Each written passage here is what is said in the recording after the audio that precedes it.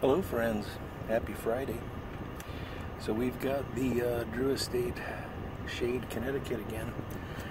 but before I get started on that, I wanted to share this with you. So this was, um, actually went out to lunch today and had a quick cigar. This was a little, what is it, Corona, Petite Corona? I don't know, about yay big. Um, and this is an Arturo Fuente Special Selection and that's all that it says on it. Um, this little fella was $2.50 and it was actually quite good. I was really impressed by this. I just wanted a quick smoke because I didn't have a lot of time. I had to go back to work. Um, but our, the Arturo Fuente Special Selection for $2.50, it fit the bill perfectly, lasted about 20 minutes. Uh, I could have smoked it for another 10 or so and uh, yeah, I was I was quite impressed with it. We've talked about the Drew Estates uh, shade before, so I won't bore you with that. Other than to say it's a very good cigar. So we are actually in a different location than usual, although you don't know that because you can't see where I am. And the reason you can't see where I am is I forgot to bring my stupid other camera again.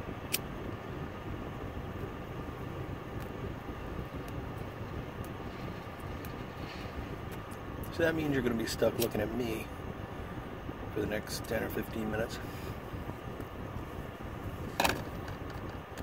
But at least there'll be a cigar in the shot, so. Alright, let's go home. Oh, it has been a week, I tell you. It's, it's one of those, thank God it's Friday kind of weeks. Of course, the truth is they're all like that. it rained up until, I mean, it's still raining last night actually. It's going to start building an ark if it didn't let up. Um, it even rained this afternoon a bit.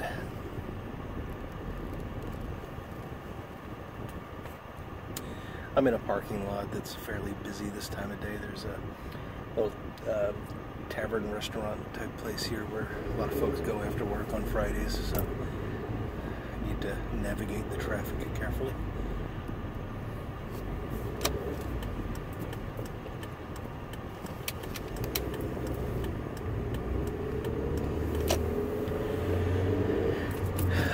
Yeah, so in addition to the rain, I've got a, a big deadline at the end of this month um, where I'm bringing a project to a very important milestone. So I've been working really hard to get all the information in, make sure that everything is done right, and you know keep everything on track.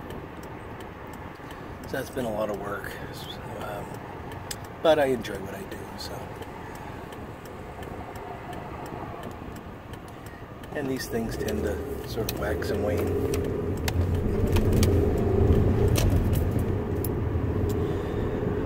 Uh, the other reason it was a uh, less than less than wonderful week is that I um, was actually sick for part of it.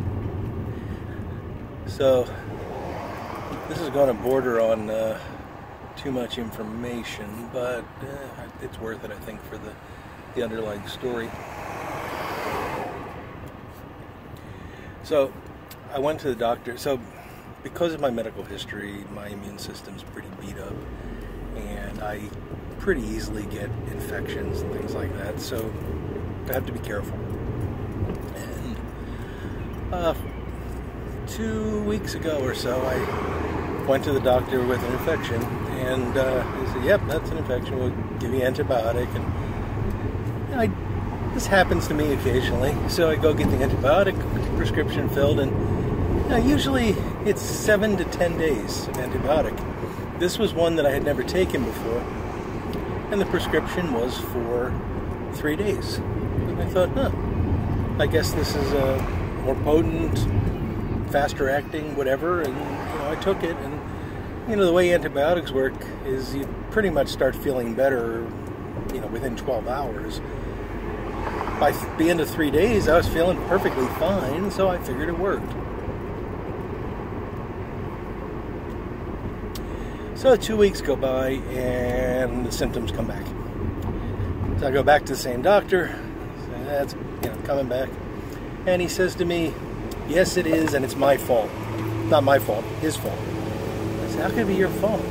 Well, I was supposed to subscribe, uh, prescribe a seven day course, and I only prescribed a three day course. And I'm sorry about that.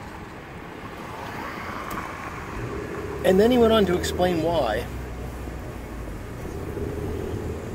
And this is the part that nearly put me through the roof.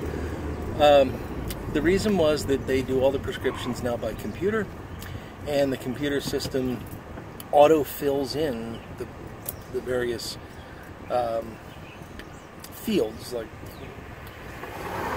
you know, it, it knows that I'm the patient, so it puts my information in, and it knows what drugstore I use, so it puts that information in, and then he chooses the, the drug and it knows what the diagnosis is, so it chooses the dose.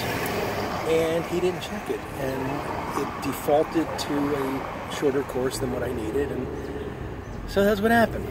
It was the computer's fault. I mean, it technically it was the doctor's fault for not checking the computer, but you know, technology does not always help us. It's really the bottom line. Now, I was initially a little bit upset with the guy, but thinking about it, the doctor could have come in and said, Hey, it's coming back. I guess three days wasn't enough. Let's give you seven days and see what happens. And I would have been none the wiser. I would have just said thank you and left. And, you know, so he actually admitted to making a mistake. And, you know, a physician doing that is, is walking a very dangerous line. But I was glad that he did. I mean, it, it really restored my faith a bit to to hear someone in his position admit to making a mistake. And uh, you know, I'm, I'm grateful that he was honest with me. And you know, there was no harm done in the end, uh, so so that's great.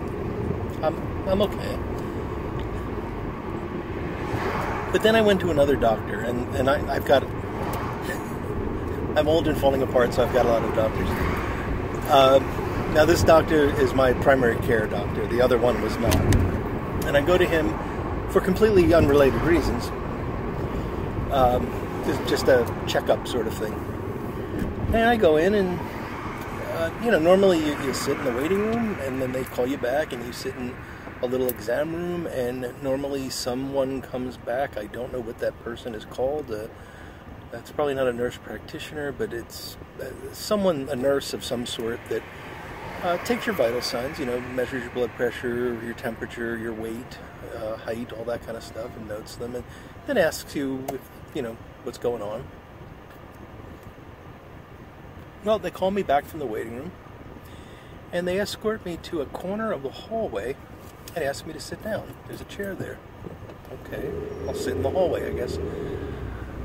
They then wheel up to me what I can only describe as an IV stand. I, don't know if you've ever seen an IV stand. Um, it's a pole on on a little tripod sort of thing with wheels on it. And on the top of this stand is mounted an iPad.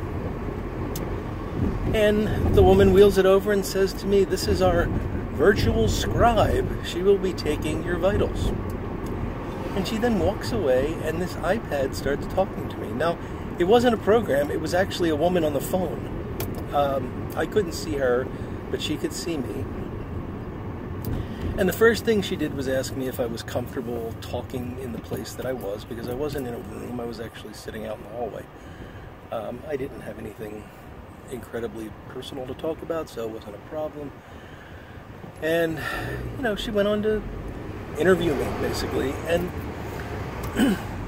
it would have been okay, except she started asking me questions like, How much do you weigh? And I I don't know how much I weigh. I, I don't weigh myself very often. I, I have no idea.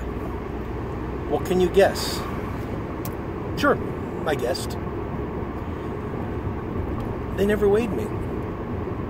When I did finally see the doctor, nobody took my temperature, nobody weighed me, nobody took any vitals. Eventually, because we were talking about blood pressure medicine, the doctor decided to take my blood pressure, so at least that was measured.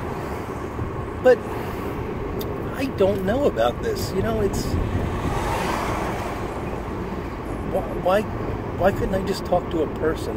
Now the doctor explained to me that this is great technology because it's allowing people that are disabled to do a job that they, you know, love doing. And I thought, well, that's a good thing. You know, if somebody's really disabled, they're homebound, but they're actually trained as a nurse, and they can do this kind of work remotely. That that's really good because I'm sure there's a lot of places where they have trouble finding qualified people to do that kind of work. But it just felt like I wasn't getting a proper examination. They shouldn't be relying on me to tell them what my vitals are. So,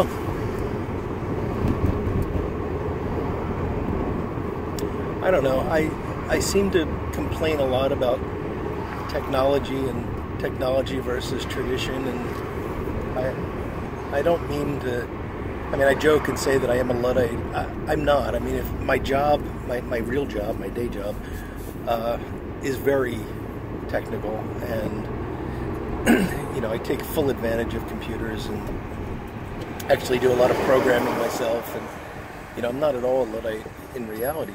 But when it comes to things like that, I just, you know, I just want to talk to a person.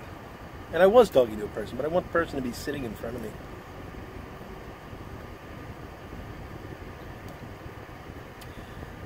but I guess I'm I'm a dinosaur in that regard. Certainly, I can't even like go into a. I don't know if everybody out there knows what Panera Bread is, but Panera Bread is this. Oh yeah, they've got national commercials. I'm sure you know what Panera's is. Um, you go in there and, and you you know used to walk up to a counter and say like a large coffee and a bagel, and they'd get it for you. Now I have to go to a little kiosk and work with a touch screen and I don't like it. The, the person that I was talking to is standing right there and I'm not allowed to talk to them.